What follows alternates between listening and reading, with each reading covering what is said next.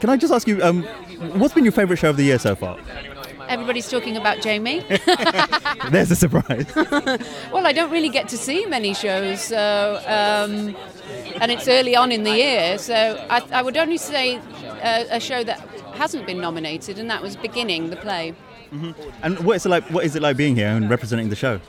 It's wonderful. It's very exciting. Um, we're, we're here as a team. The whole cast is here, and they're performing. So we're here and we're going to enjoy every minute of it. Mm-hmm. When you initially started, could you have imagined the success? I mean, five Olivier Awards is, is remarkable for anyone.